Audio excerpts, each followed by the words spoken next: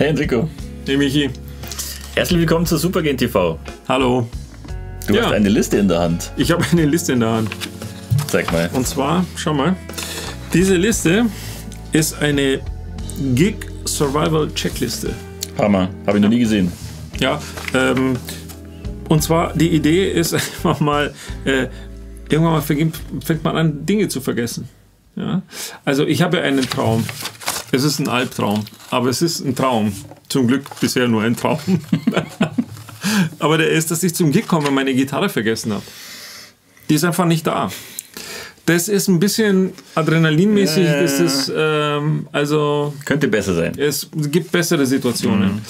Ähm, aber es ist so realistisch, dass ich mir eines Tages gedacht habe, okay, ähm, ich mache mal eine Supergain Gig Survival Checkliste.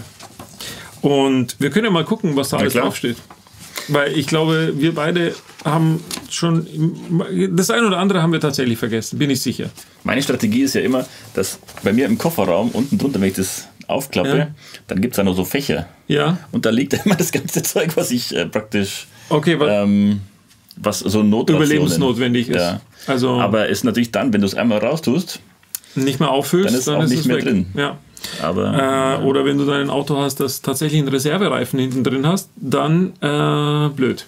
ja genau, aber oder du fährst mit jemandem mit, das ist dann ganz schlecht. Du fährst Oh, Ja, genau. zum Gig mit jemandem mit, Ja, ja, genau. dann, oh Gott, Oh. was muss ich jetzt alles da raustun damit? Ah, Ah. ja, ja. Und äh, deswegen die Liste ist eigentlich Gold wert, weil ich habe auch so eine Liste in der äh, Detailliertheit so noch nicht gesehen. Weil Okay, lass uns mal schauen.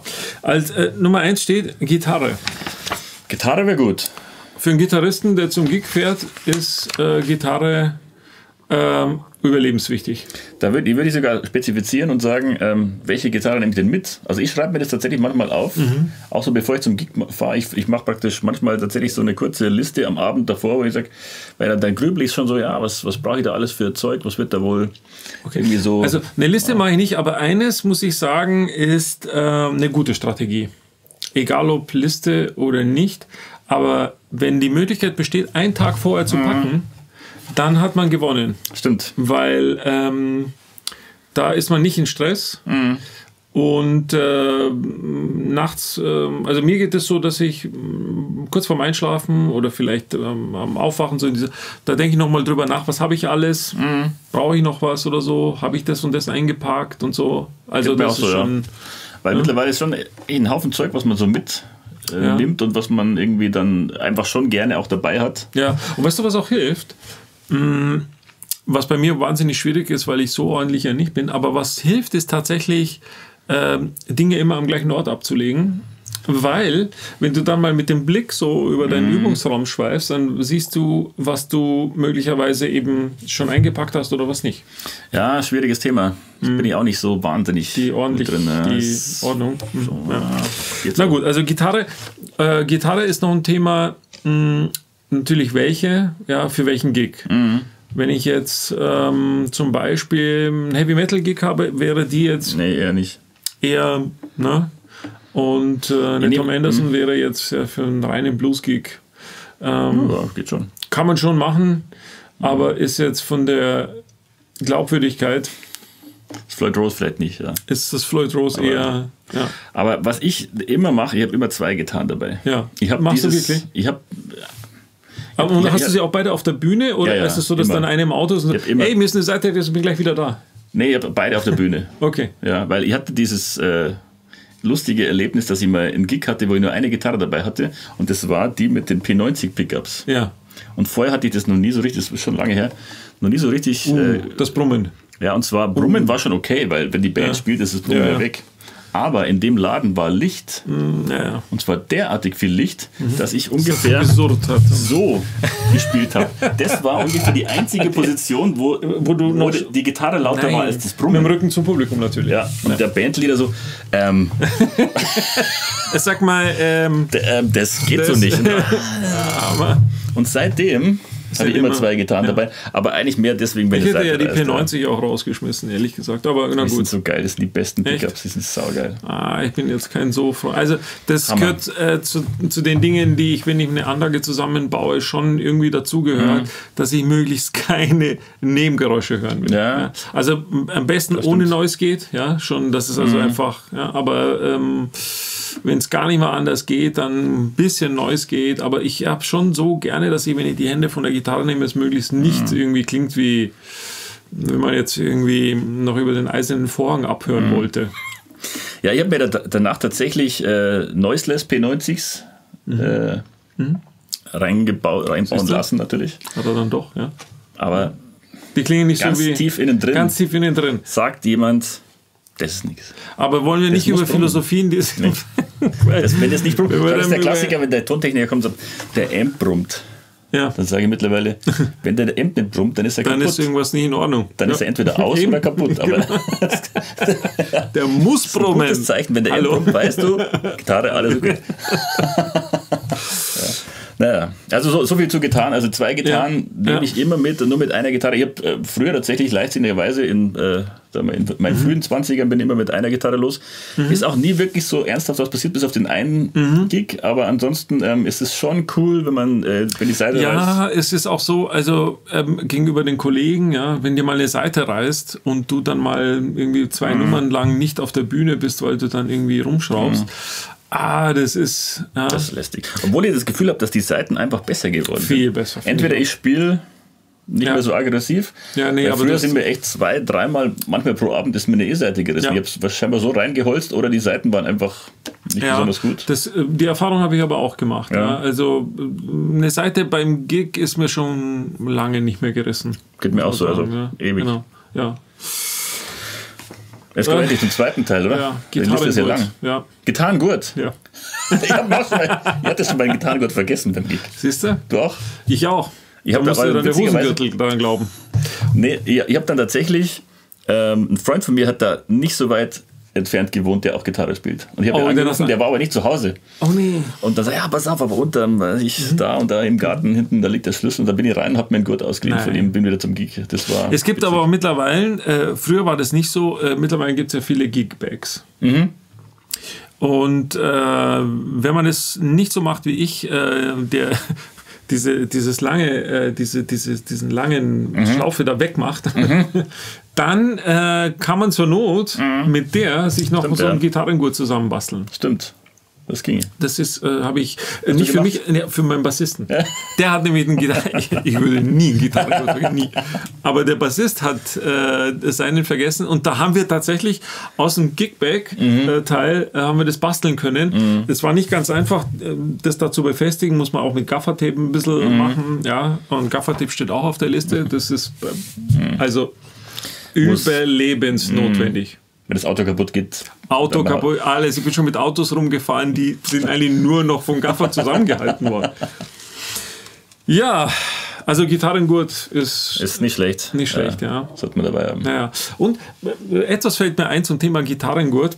Mhm. Ähm, und zwar, weil du gerade die 335er mit Bixby hast, ja. Was total nervig ist, ist, dass mhm. manche Gitarrengurte hier nicht reinpassen, weil der mhm. Pin so tief drin ist durch die, durch die, durch die Halterung von dem Bixby, mhm. dass ähm, ich habe einen speziellen Gurt für die 335er beziehungsweise für Gitarre mit Bixby. Ja, ja, stimmt. Die sind auch aus Leder, aber, aber die sind halt einfach viel dünner, mhm. sodass ich die hier problemlos reinbekomme. Das stimmt, das ist wirklich ziemlich das ist nervig. hier. Ja, genau. Und ähm, das wird übrigens ein Thema sein, das ich mit dem André, dem wunderbaren Gitarrenbauer, mit dem wir immer wieder mal tolle Seminare mhm. machen, und der uns auch mal besuchen wird bei Supergame TV, mhm. ja, äh, äh, da, das, da werde ich ihn mal fragen, ob es etwas gibt, das praktisch diesen, diesen Pin ein bisschen weiter nach draußen, also eine, mhm. so eine Zwischenscheibe oder irgendwas, damit der Pin ein bisschen nach außen ist, dass ich normale Gurte da mhm. kann. Weil das, das nervt heftiger. total. Ja, da fummelt man wahnsinnig mhm. lange rum. Bei Gitarrenwechsel ist es nämlich so, dass ich gerne eigentlich die Gitarre hinten abschnalle. Ne? Mhm. Und, ah, okay. Bin gleich wieder zurück. Bestimmt ein Gig.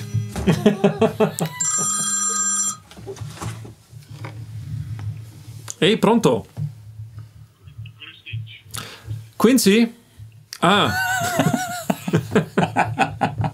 Nee, du, ich bin gerade beim Aufnehmen. Du hast gerade in eine Aufnahme reinge... Eine Videoaufnahme. Schade, in One Take. Ja, ist alles okay? Ist alles okay? Ja, klingst äh, müde.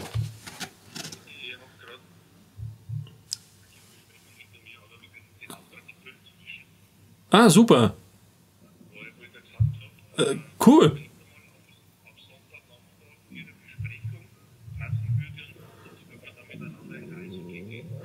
Äh, pass auf, Sonntag kann ich dir gleich sagen, da war was. Nächsten Sonntag. Das ist die Aufnahmesession mit Arno. Genau, da haben wir, genau, da habe ich hier eine Aufnahmesession äh, ab drei. Aufnahmesession hier im Studio. Samstag wäre gut, gar nicht. Alles klar. Cool. Bis dahin, ciao.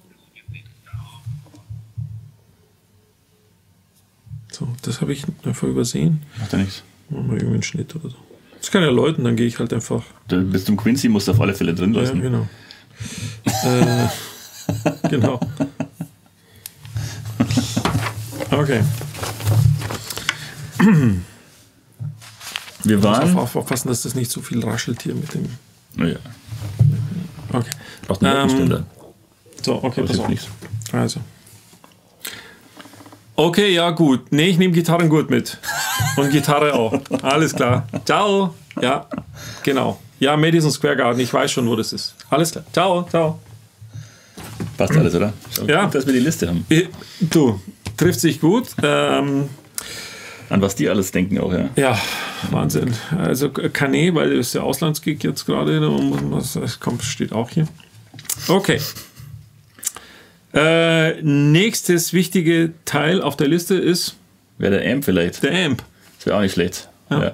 Den, den habe ich jetzt noch nicht vergessen. Den hast du noch nie vergessen? Nee, Amp habe ich noch nie vergessen. Das Ding mit dem Amp ist ähm, tatsächlich, man fährt nur mit einem Amp zum Gegner, meistens. Das stimmt. Ich habe, äh, weißt du, bei, bei dem einen Trio-Gig ist der Camper abgeraucht. Richtig, ja. ja. Aber der ist ja langsam abgeraucht, oder? Ist der schon, mhm. ist, ist der schlagartig? Schlagartig. Also nicht abgeraucht, aber der hat doch so gezerrt dann plötzlich. Ja, ja, Jedes genau. Ding hat gezerrt, ja, das war Stimmt. eher ungeil. Aber wir haben. Ich hatte den AER dabei. Ah, richtig. Ich habe dann über den AER gespielt. Richtig, ja. Aber das ist tatsächlich manchmal, also wenn, wenn, wenn der Röhrenamp gerade frisch vom Service kommt. Dann nimmst du lieber und, noch einen zweiten Amp mit. Und der, nee, aber dann, dann eben nicht. Ah, okay. Also dann, dann sage ich, hey, der, der hat gesagt, das, der hat gesagt, es geht alles super und so. Also es gibt ein gewisses Grundvertrauen, das ich in Röhrenamps habe. Mhm. Das hat sich jetzt auch über die jahrzehntelange ähm, Arbeit auf Bühnen und in Studios bewährt. Weil, ähm, also mir ist also von, von hier auf jetzt und sofort zum Gig noch nie ein Röhrenamp so richtig mhm. abgeraucht. Ja. Mm, der Fender, mm, den ich jetzt in der letzten Zeit dabei hatte, der Supersonic, der, der hat mal eine Zeit lang so, ein, so einen Leistungsabfall zum Abend hin gehabt. Mhm. Ne? Und dann haben wir den gecheckt. Der Bernie, mhm. auch ein wunderbarer, also das ist eine Koryphäe, der Mann, der, der wunderbare Schröter-Amps baut. Mhm. Bernie Schröter, ähm, dem habe ich den gebracht, der hat den auch wieder in Gang gebracht und seitdem ist es auch wieder alles okay. Aber mir ist so richtig abgeraucht, mhm. ähm, ja, ist mir. Oder warte mal. Nee, aber das war. Ah, aber das war ganz zu Beginn. Sagt dir Exef noch was? Ja, natürlich. Exef. Das war eine Firma, ähm, die wenigsten werden sich daran erinnern wahrscheinlich. Die haben eine so Preamps gebaut, Die oder? haben so Preamps gebaut und mhm. das waren die ersten, die so programmierbare Preamps mhm. gebaut haben. Und so einen hatte ich und das war der erste Gig einer Tournee. Mhm. Und wir haben in Kempten gespielt. Und beim Soundcheck ist das Ding einfach kaputt gegangen. Und ich hatte, ich weiß nicht warum, im Auto noch einen Roland Cube. Mhm. So ein kleiner ein Cube, ja, wie eigentlich Bassisten. Ja. Und dann gab es auch viele Gitarristen und ich habe den ganzen Gig mit dem Roland Cube gespielt. Schmerz. Den ersten Gig der Tour. Mhm. Kann man sich das vorstellen? Na gut. Also, ja, Amp. Ja, also, mhm. sag mal, in Zeiten von Camper und von Amps, die eigentlich mehr Computer als Amps sind, mhm. macht es vielleicht Sinn, ein AR noch in der Tasche, äh, im, ja, Kofferraum ja. zu haben. Natürlich beim, beim E-Gitarren-Gig hilft das auch nichts. Ja. Deswegen habe ich schon gedacht, also eigentlich, ähm, es gibt doch fürs iPhone so Dinge. Ja, weil, ich meine, was machst du wirklich, wenn gar nichts mehr geht? Wenn gar nichts mehr geht, dann. Aber oder es gibt dieses, dieses Mini Line 6 Teil jetzt. Also Sie sehen, das ist ja, ja, genau. Die genau. Helix Mhm, praktisch, ja, diesen genau. Mini-Treter. Ich habe fast schon gedacht, das müsste man eigentlich als Backup haben. So ein Teil. Ja, also, äh, ja, Aber ich weiß auch nicht ich genau. meine, wo, wo hört wo hört's? Also, ähm, es gab Zeiten, das waren so die 80er. Da können sich Bandkollegen von mir noch erinnern. Das war die Zeit der Kühlschränke. Ja, also da hatte ich dann ein Rack, da war drin das H3000S. zwei solche Teile hattest du. Da war mein TC Also komplette Kühlschränke. 2290. Also es waren einfach richtige Kühlschränke. Und es war auch, es gab auch einen äh, Endstufenkühlschrank. Mhm. Da war die große 2x50er ähm, Kolosseum vielleicht. Na, aber praktisch das Pendant für die für Kolosseum war doch die für die Bassisten, glaube ich, oder? Ach so. Und kann mich dunkel erinnern. Also, Aber also jedenfalls ähm, diese Boogie-Endstufe, die ich heute noch habe, weil die praktisch unverkäuflich ist, die nehme ich jetzt dafür her, wenn es draußen wahnsinnig windig ist, kann man den Sonnenschirm damit äh, beschweren. Der, also der bleibt, das ist wie wenn er betoniert wäre, wenn die draufstehen. Und äh, Und im Winter kannst du einheizen damit. im Winter ah, kann man, du schaltest ein und es ist äh, prima. Da liegen immer die Katzen drauf, weil es ist so richtig kuschelig. Nee, äh, inzwischen gibt es äh, die kleine 20 äh, Ja, genau. Die habe ich auch. Die ist super. Die hat praktisch, ich habe mal einen AB-Vergleich gemacht, ja. Das ist ja Wahnsinn, was die im Vergleich äh, zu- auf der Bühne brauchst du nicht mehr den Kühlschrank mit den.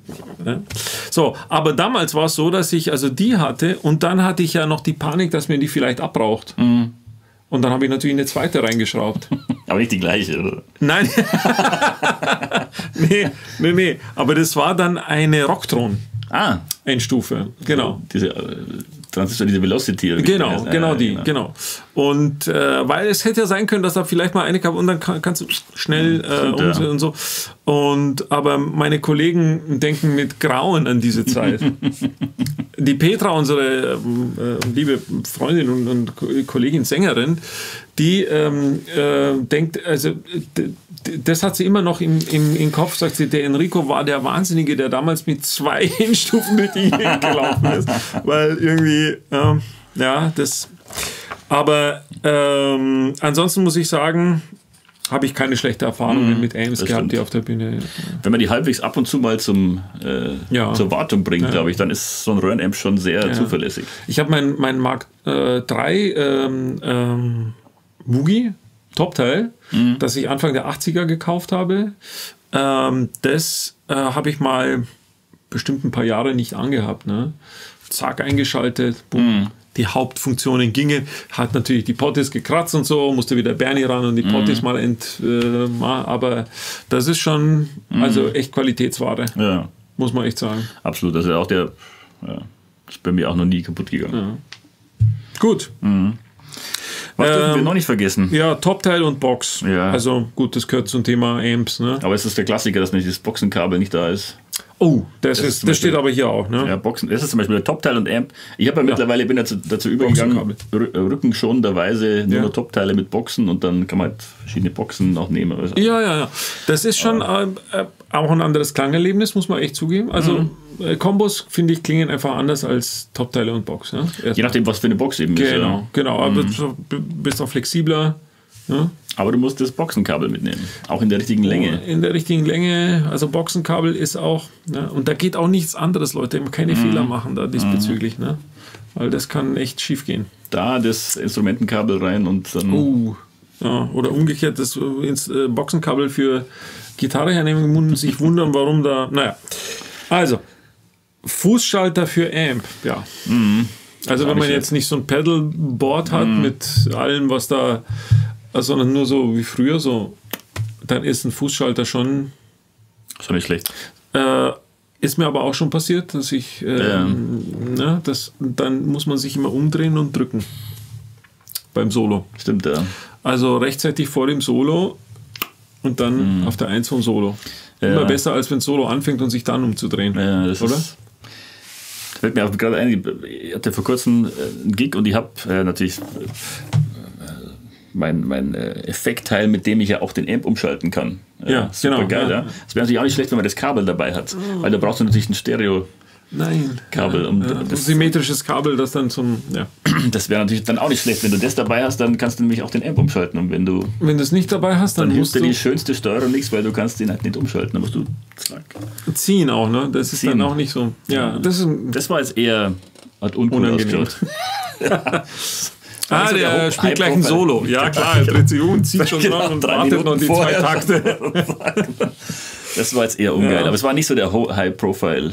Okay, Dank, also das waren jetzt so mal Sachen, die, sagen wir mal, absolut essentiell. Ohne essentiell sind. Also, ja. Ja. Jetzt kommen wir mal zu den Sachen, die, sagen wir mal, die wenigstens sicher dabei haben, Mhm. aber wenn man sie dann braucht, Ersatzsicherung für einen Röhrenamp. Ja, Ja, weil die Nummer, also das kann ich gleich sagen, die Nummer mit dem Zigarettenpapier und so und das, vergiss das, das bei den ganzen Nichtraucher-Bandsitzungen. hin. Ja, genau, jetzt sowieso früher für.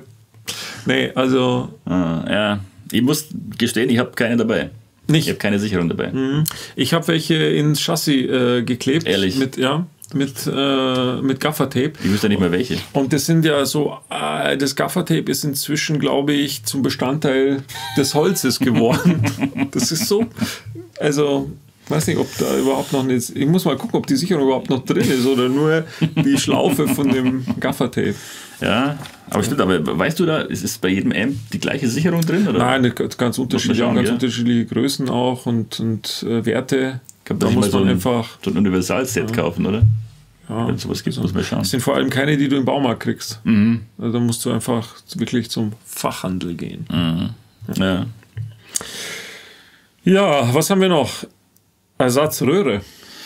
Uh, Habe ich auch nicht dabei. schon- Ich habe keine Ersatz. Echt? Ich habe eine Zahnganze, das war die Zeit, wo ich auch mit zwei Endstufen rumgelaufen bin.